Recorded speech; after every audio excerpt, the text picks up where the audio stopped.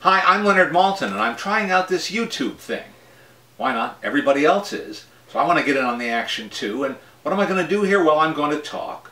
I'm going to occasionally vent or even rant.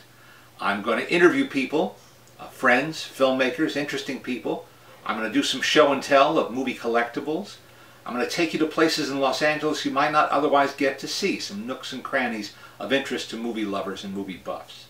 But most importantly, I want to talk to you, because that is what the internet and what interactivity is all about.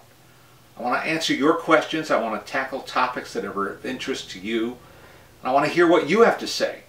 Uh, if this isn't a two-way communication, it's not going to be interesting to either of us.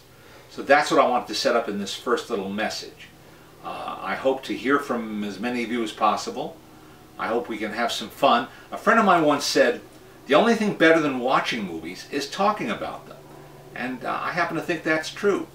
So I hope we will talk about them and have a good time doing it. Thanks for tuning in.